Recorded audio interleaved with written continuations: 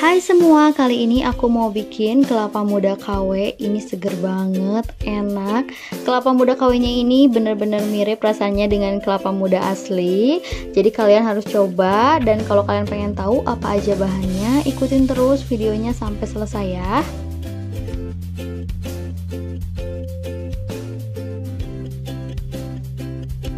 Untuk bahan kelapanya aku pakai 400 ml air satu saset Nutrijel rasa kelapa muda. Di sini aku pakai kemasan 10 gram. Satu saset santan instan dan 3 sendok makan gula pasir.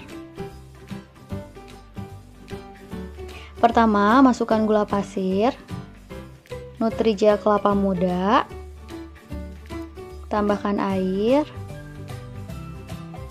lalu masukkan santan instan. Ini kemasan yang kecil, kemasan 65 ml. Sekarang kita nyalakan apinya, kita masak sambil diaduk-aduk hingga mendidih.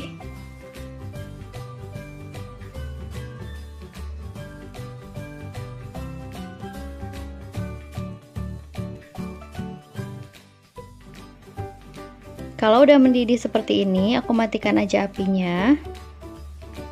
Sekarang aku masukkan ke dalam mangkok. Aku tunggu sampai nggak panas lagi. Kalau misalnya udah nggak panas, baru aku masukin kulkas biar cepet ngeset. Nah ini setelah aku keluarkan dari kulkas, ini udah benar-benar ngeset. Sekarang aku akan kerok nutrijelnya. Di sini aku pakai kerokan kelapa kayak gini. Tapi kalau nggak ada, kalian bisa pakai sendok atau pakai cetakan pai juga boleh ya. Diserut kayak gini. Pokoknya pakai yang ada aja di rumah.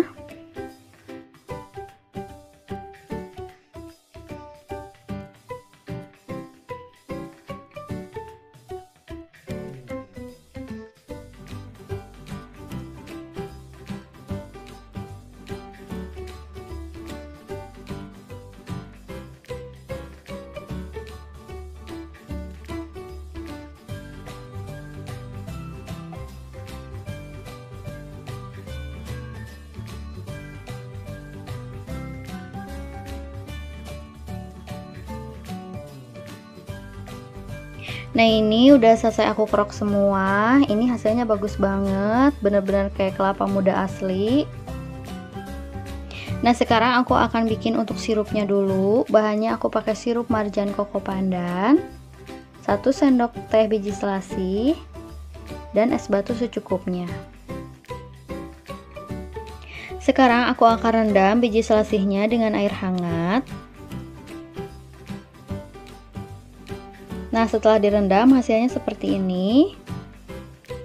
Pertama, aku akan masukkan sirup koko pandannya. Untuk banyaknya sesuai selera ya, kalau kalian pengen manis bisa ditambahin lagi. Masukkan es batu.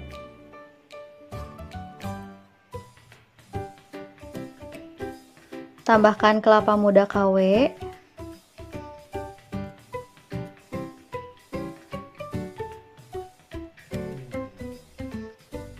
Tambahkan biji selasi. Lalu masukkan air secukupnya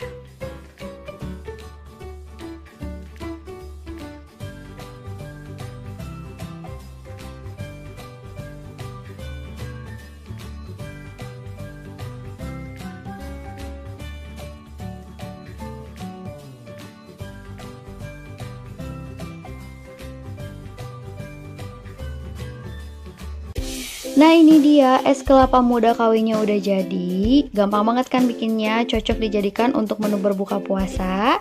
Jangan lupa like kalau kalian suka sama video ini. Jangan lupa juga subscribe buat kalian yang belum subscribe. Makasih